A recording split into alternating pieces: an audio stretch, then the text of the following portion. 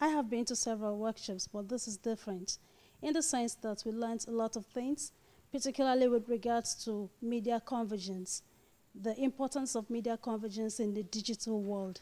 Today's workshop has been um, what you would call thinking outside of outside the box.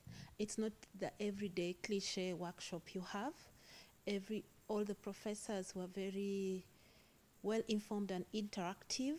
Highly interesting, very in depth. I'm impressed with the knowledge that I've acquired. Uh, something I'm going to use in my day to day use at work. Your media lab is it's totally fully packed and fully everything is in it.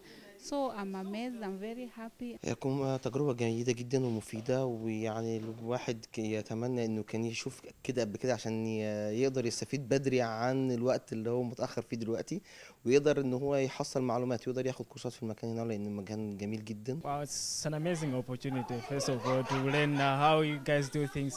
Uh, your studio, of course, is amazing. Your facility that you have is amazing. So it's been a lovely opportunity to to come here and learn the various things that you're doing. This workshop is very, very insightful.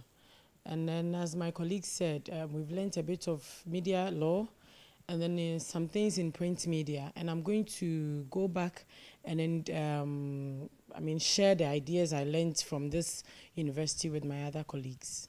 احنا شاكرين لكم هذه هي الزياره طبعا الجميع كما تلاحظون منبهر بما شاهدوه هنا من إمكانيات من طرق للتدريب للتعليم خاصة وأن هناك يعني هناك استوديوهين بهما وسائل التصوير جد متطورة. الزيارة إلى هذا المكان هي زيارة مهمة جدا للصحفيين الأفارقة والعرب.